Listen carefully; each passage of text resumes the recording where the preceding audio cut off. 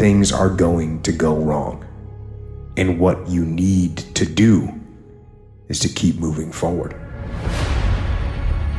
No matter what happens, keep moving forward. We all go through pain. Get a reward for yours. There's some things in life you don't need no degree for, you don't need no money for it, you don't need no support for it. There's something in life you just gonna get through when you tell yourself, I'm gonna get through this. I need you to look at that sickness that's going on in your life right now, whatever it is. I want you to say, I can't beat it. I can't beat it. I will beat it. I must. You think it's gonna be easy? Forget about it. All right, don't even try to be successful. It's a wrap. It's not going to be easy, but I want you to feel that pain going through your body. And as pain leaves your body, guess what's going to take its place? Success. And when that thing tells you to quit, you look at it in his eye and say, I ain't going nowhere. I will break you before you break me. You will not defeat me. You will not destroy me.